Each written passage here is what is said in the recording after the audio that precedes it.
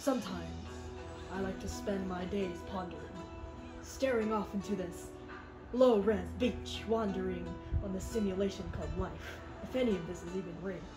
The clouds move with the wind and the gentle breeze, and the hot air balloons gracefully bob in the air. My hair, uh, my hair stays in place. I assume prior I used hair gel, perhaps even a can of hairspray. Hell, I probably gassed up my house with product to the point I had to leave my house. I hate the outdoors. I think about my appearance, my body, my being, made of the other parts of canon characters. That said, it leads me to question my mortality, my being, my life. Oh god, am I a girl? I'm not gonna check. Rated PG, rated PG. am I even real? Hello? The answer to that remains a question unanswerable for me. I'm not real. I'm a game character. This is stupid.